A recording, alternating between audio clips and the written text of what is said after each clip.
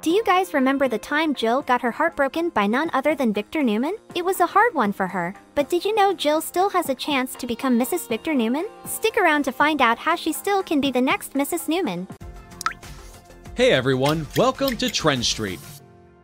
You know, Jill is the lady who's pretty much a pro at snagging men's hearts and leaving them high. I mean, if you look at her history, she has reeled in more guys than we can count. But you know what? There's always an exception to the rule, and in this case, it's the legendary Victor Newman. Their history goes way back to the younger days. Jill, played by the Emmy-winning Jess Walton, has quite a history on the show. Back in the early 90s, she and Victor were more than just a fling. They were actually dating, and she had high hopes of him putting a ring on it. She was sleeping with the man and fully expected a marriage proposal to pop up in the near future. But let me tell you, that proposal never saw the light of day. It was a second-hand embarrassment because she spoke a little too soon. Jill was at the Jabot office, all giddy and smiling with excitement and very busy bragging to John Abbott and a whole bunch of people about her imaginary and expected engagement to Victor. But in a classic soap twist, Victor crushed her dreams like a deflated balloon. He refused her, right then and there. The poor woman was left absolutely devastated. So she went and quickly married John after that reality check.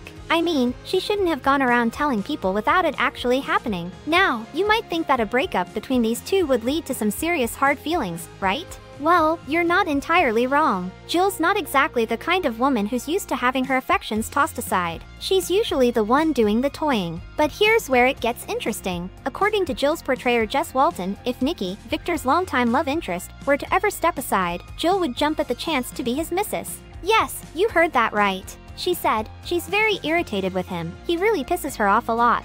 As Jill has matured on the young and the restless, she's grown wiser too. She's been around the block and knows a thing or two. She's seen Victor's roller coaster history with Nikki, and it's not exactly the picture of stability. So, upon second thought, maybe Jill wouldn't be so quick to snatch up the opportunity to be Mrs. Victor Newman. Jess believes there could be a spark that may keep the fire alive between Jill and Victor. And let's be real, a marriage between these two would be spicy as all get out. Soap opera fans would be in for a treat. What do you guys think? Could Nikki and Victor ever fail their relationship in future? What are the odds of Jill getting a chance to get wifed up by Victor? Feel free to share your thoughts with us in the comments below. And as always, keep tuning in with us for fresh videos every day.